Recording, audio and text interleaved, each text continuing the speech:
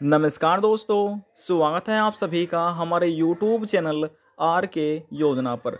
Ration से जुड़ा हुआ एक और नया ताज़ा अपडेट, लेटेस्ट न्यूज़ आप सभी राशन कार्ड लाभार्थियों के लिए लेकर हाजिर हो चुके हैं। यदि आपका भी A P L B P L Antyodaya पात्र गृहस्थी कोई सा भी एक राशन कार्ड बना हुआ है, आज की यह जानकारी आपके लिए बहुत ही ज़्यादा महत्वपूर्ण होने वाली है।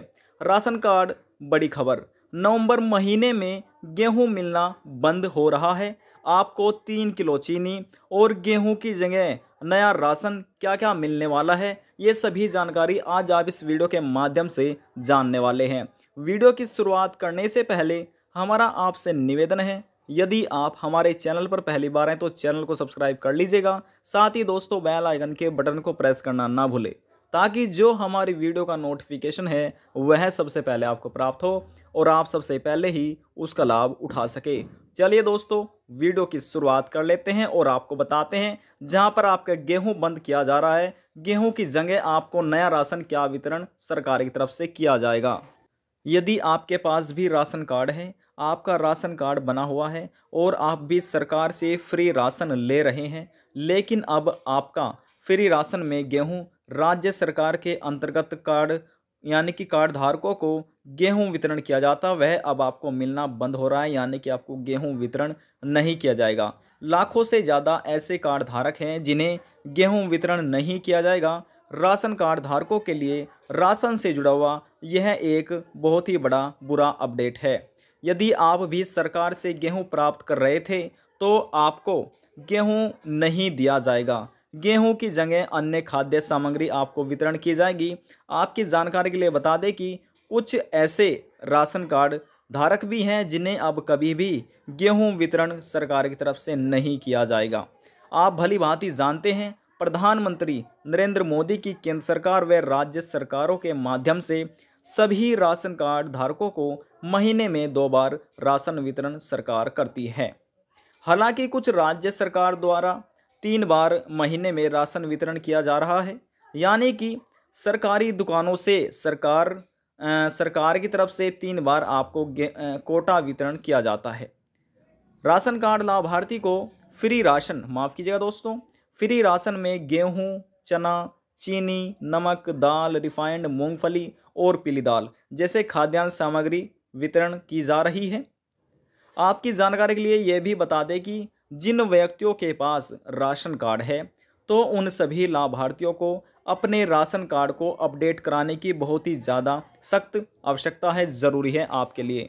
अन्यथा आप भविष्य में सरकार की तरफ़ से मिलने वाला राशन प्राप्त नहीं कर पाएँगे। आपका राशन कार्ड डीएक्टिवेट भी हो सकता है। आप भली बात यह भी जानते होंगे, अक्टूबर महीने में पहले केंद्र सरकार की तरफ़ से जो फ्री राशन वितरण किया जा रहा था उसके बाद दोस्तों, बाद में ही ये तीन महीने की तारीख आगे बढ़ाई गई है। लेकिन उससे पहले जो आपको राशन दिया जा रहा था, उस राशन में कई राज्यों में गेहूँ पर पाबंदी लगा दी गई थी। और कुछ राज्य, कुछ राज्यों में गेहूँ वितरण किया जा रहा था राशन कार्ड धारकों को। उस समय का जो राशन आपको वितरण सरकार कर सकती है तो यहाँ पर हम आपको बता दें कि वह फ्री राशन में आपको गेहूँ वितरण नहीं किया जाएगा। जिन व्यक्तियों, महिलाओं की मृत्यु हो चुकी है, उनका नाम फिर राशन कार्ड में से यदि अभी भी मौजूद है तो उनके परिवार वालों को राशन कार्ड में से उन व्यक्तियों का नाम हटवाना होगा, उनकी यूनिट वहाँ से कटवानी होगी। उनके परिवारों को राशन कार्ड में से उनका नाम हटवा देना होगा। गेहूँ के स्थान पर आपको क्या अन्य लाभ मिलने वाले हैं, इसकी जानकारी तो हम आपको देने वाले हैं। यदि आप उस राशन कार्ड में से जो व्यक्ति की मृत्यु हो चुकी है, यदि आप नाम नहीं कटवाएँगे तो आपको भविष्य में काफ़ी परेशानी का सामना भी करना पड़ सकता है। कई राज्य सरकारें ऐसी हैं, जो राशन कार्ड धारक परिवार को अठारह रुपये प्रति किलो चीनी महाराष्ट्र सरकार दे रही है, जो कि आप ले सकते हैं, यदि आप महाराष्ट्र राज्य के अधीन आते हैं। वहीं अन्य राज्य सरकार द्वारा भी मात्र बीस रुपये प्रति किलो चीनी का ऐलान सरकार ने किया हुआ है। यानी कि यदि आप तीन किलो चीनी प्राप्त कर सक, करना चाहते हैं तो आप साठ रुपये देकर सरकारी दुकान से आप ये लाभ प्राप्त कर सकते हैं। और यदि आपके पास ए ए वाई यानी कि अंत्योदय राशन कार्ड है और आप उत्तर प्रदेश राज्य के निवासी हैं तो आप भी यह लाभ प्राप्त कर सकते हैं। राशन कार्ड धारक को गेहूँ के स्थान पर चावल वितरण किया जाएगा और बीस रुपये प्रति किलो के हिसाब से आप चीनी भी सरकारी दुकान से प्राप्त कर सकते हैं। सरकार की तरफ़ से ही लाभ आप प्राप्त तभी कर पाएँगे, तभी आपको यह लाभ दिया जाएगा जब आपका राशन कार्ड अपडेट हो जाएगा, आपके राशन कार्ड का सत्यापन पूरा हो जाएगा। दोस्तों, इसमें हमने आपको ये भी बता दिया है कि किस राज्य सरकार द्वारा चीनी वितरण की जाएगी और दोस्तों, यहाँ पर हम आपकी जानकारी के लिए बता दें कि अब आपको जहाँ पर गेहूँ पाबंदी की जाएगी, वहाँ पर गेहूँ की जगह आपको जो चावल है चावल। चावल का वितरण आपको किया जाएगा।